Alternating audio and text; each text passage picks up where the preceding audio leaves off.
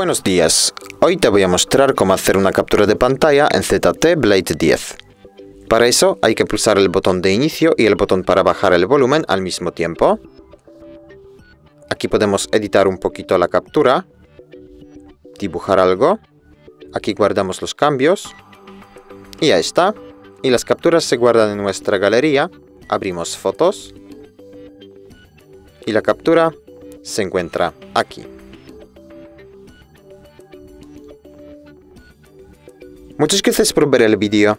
Te invito a dejar un comentario abajo y a suscribirte al canal. Hasta luego.